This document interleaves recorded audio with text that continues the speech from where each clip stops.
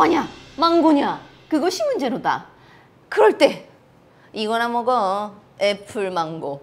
애플 망고 아직도 모르시는 분이 계세요? 이 애플 망고는 망고 중에서도 가장 맛이 있다는 그런 품종이 바로 애플 망고입니다. 열대 과일의 여왕 맛, 향 빼놓고 얘기할 수가 없습니다. 사과의 상큼함과 망고의 달달함을 한꺼번에 쏙쏙쏙쏙 뽑아가지고 요거 하나로 만들어서 이렇게. 아 친구야. 망고가 애플 망고 비싸요. 근데 맛있죠.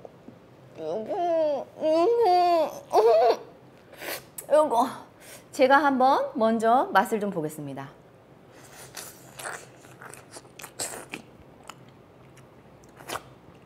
와 이 과즙 보이세요? 와, 진짜.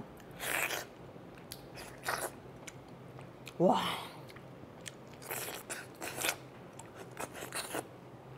이렇게 드시는 게 제 맛이거든요. 음, 안쪽에 진짜 와, 너무 상큼하고 너무 달달하고 이거는 아, 안쪽에 뭔가 이 열대 느낌이 느껴지면서 사과의 상큼함이 느껴지면서 이거는 드셔보시지 않으면 알 수가 없어요. 음, 아까워.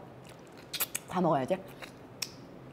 과즙이 너무 풍부해서 진짜 맛있고요. 달달해서 맛있고요. 이 당도는 아, 상상하기 어려운 그 맛. 꼭 한번 애플망고 드셔보세요.